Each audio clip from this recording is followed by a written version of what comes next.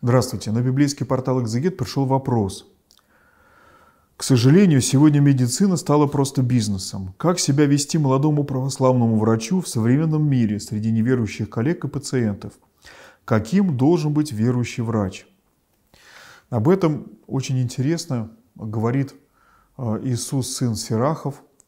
Это его книга Ветхозаветная «Премудрости Иисуса, сына Сирахова» в 38 главе своей книги. «Почитай врача честью, по надобности в нем, ибо Господь создал его и от вышнего врачевания. Для того Он и дал людям знания, что прославляли Его в чудных делах Его.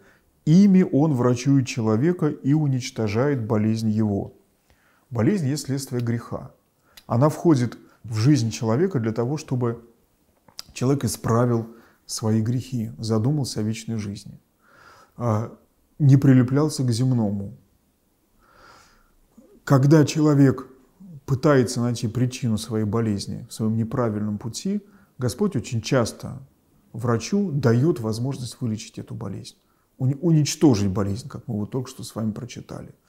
Что для этого должен врач делать? Врач для этого должен принимать человека неформально, принимать его сердцем и молиться о нем. Я помню, а, сейчас уже умерла одна замечательная совершенно врач, пожилая она была монахиня, которая в течение 50 лет а, принимала детей. И она рассказывала, как э, в начале 80-х годов она пришла к вере. Она а, очень э, опытный э, диагност. И часто очень к ней отправляли детей, где было непонятно, какая болезнь, что лечить. И вот она мне говорила, что, вы знаете, когда я пришла к вере, я уже будучи очень опытным врачом, допустим, 25 лет уже, а, проведя в профессии, я стала молиться, и я за них, об их выздоровлении, о том, что Господь меня вразумил. И удивительным образом Господь стал открывать мне, что надо лечить. А когда я не молился, этого не было. Я оставалась одна на один э, с моим опытом, который был большой, но уже помощи Божией я не чувствовала.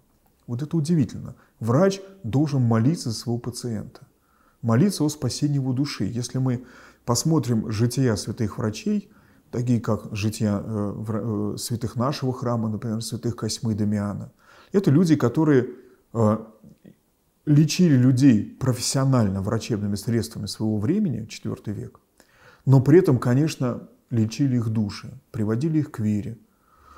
И через исцеление души вымаливали у Бога исцеление их тела. И люди это чувствовали. И люди это чувствовали, потому что выздоравливали практически все. Поэтому я думаю, что молодому врачу не надо никого осуждать. Не надо осуждать коллег или неверующих людей с неверующими. Не надо говорить о вере, может быть, если они не спрашивают или они категорически против настроены. Но помолиться можно за любого человека. Призвать благодать Божию. В конце концов, э, любое служение можно сделать служением во Христе. Кем бы ты ни работал, ну кроме каких-то грешных профессий. Если ты э, Богом приведен через получение долгого образования и обучения на место, где ты можешь лечить людей, предай это служение Богу. Сделай из него Господне служение. Скажи, Господи, ты поставил меня сюда врачом, помоги мне вылечить этого человека. И вы знаете, у вас э, всегда будет много клиентов, много пациентов точнее. Почему? Потому что э, больной чувствует, клиент он или пациент, понимаете? Хотят ли с него только деньги получить? Или его хотят вылечить?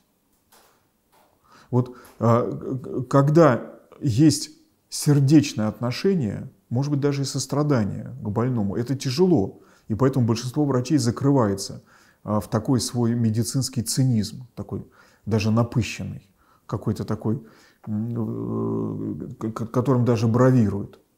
Но для пациентов это, конечно, ужасно все слушать.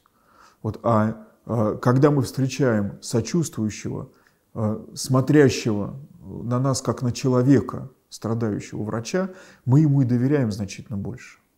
И я думаю, что и Господь, вот это чудо уничтожения болезни, о котором мы слышали сейчас в Священном Писании, через верующего своего служителя, сотворит значительно быстрее. Внеси свой вклад, оцени, подпишись и поделись этим видео.